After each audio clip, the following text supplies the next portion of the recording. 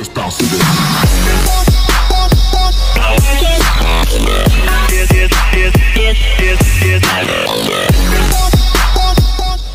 Yung pag-repeal ng ah, buwis sa train law sa petrolyo. Dahil hindi to fair. Diyan sa Pandansora Market, si Rodel, isang tricycle driver. Ang kanyang boundary sa kanyang tricycle sa isang araw, 150 pesos. Ang kanyang konsumo ng gasolina, 5 litro, so more or less at 50 pesos, sabihin na natin, so 250 pesos. Isipin na lang natin para madali yung arithmetic. 500 pesos yung kanyang kapital.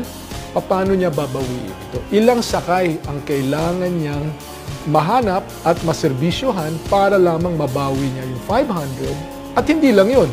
Bawi pa lang ng 500 yun. Ang ekspektasyon niya, siguro kikita man lang siya ng minimum wage ng another 500. So, isang libo ngayon yung kanyang target. Sa bawat litro, 10 piso ang ibinabayan nila. Sa limang litro, yan ang konsumo ng isang tricycle driver sa isang araw.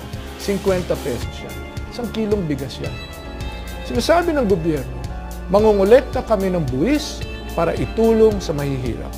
Eh kung yung mahirap ang nagbabayad ng buwis, hindi kaya mas maganda, huwag nyo nalang kolektahin? Bakit natin binubuwisan ang minimum wage earner?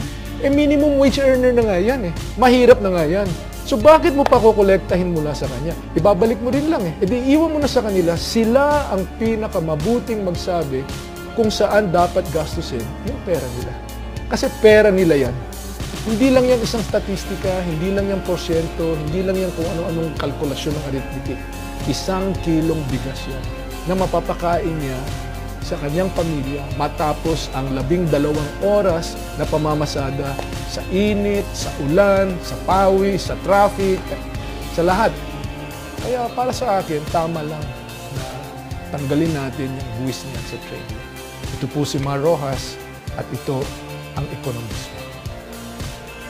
Baby, baby, baby.